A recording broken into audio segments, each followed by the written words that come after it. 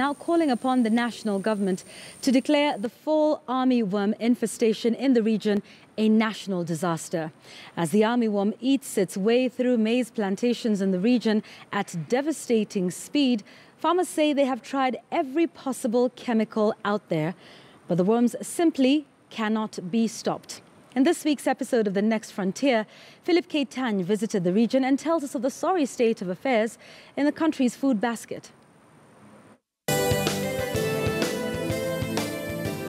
Hii mahindi ndogo labda ndio inaweza kunisaidia kuliko ingine ku, kubwa ile.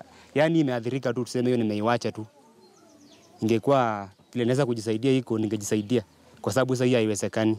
That is the kind of desperation that maize farmers in Trans Nzoia, the country's breadbasket, are going through at the moment as the fall armyworm continues with its devastating destruction of hectares upon hectares of maize plantation in the region. When the cabinet secretary was here, we were only talking of Kiminini sub-county and Kwanza.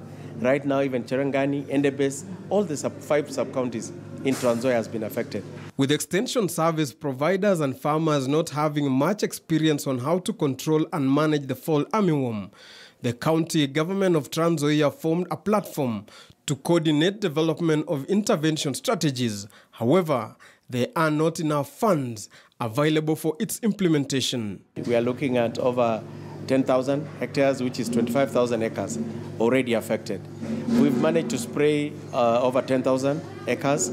We find that is just, uh, just uh, quite a small percentage. Endemic to the Americas, the fall armyworm can produce at a staggering rate, with each female laying about a thousand eggs in a 10-day lifetime. You need to be able to rotate and advise farmers that you should not use the same chemical continuously, that in the next spray you rotate. Although the fall armyworm is known to attack more than 80 plant species, in East Africa, it prefers maize, a crucial staple and a cash crop.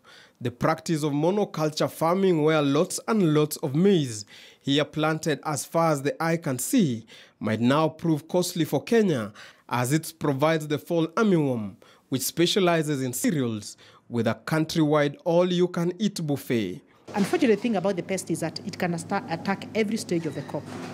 Whether it is tus- tussling, whether it is at the silking stage, it can still attack. As ever, the fallback option for stakeholders was to nuke them with chemicals. But which chemicals?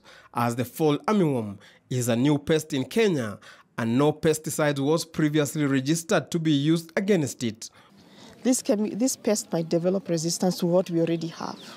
So we need to go back, to, then we'll be forced to go back to the drawing board to develop stronger products for the fall armyworm. This attack on Kenya's food security has been compounded by an X factor climate change. That is drought followed by lots of rain, a perfect scenario for the fall armyworms. I'd say the weather has been very unfair to the farmer and very conducive for the multiplication of this pest. And that's why we are having reinfestation. Nothing is certain at this point, as it is clear that the infestation is spreading rapidly without a containment measure from any quarters.